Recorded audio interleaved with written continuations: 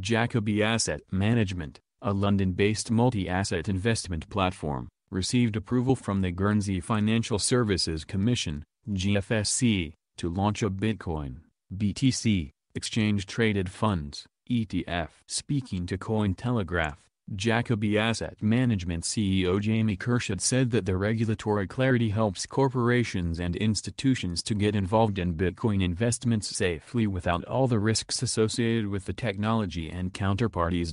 Continue reading on Cointelegraph. Hit the like button and subscribe to my channel.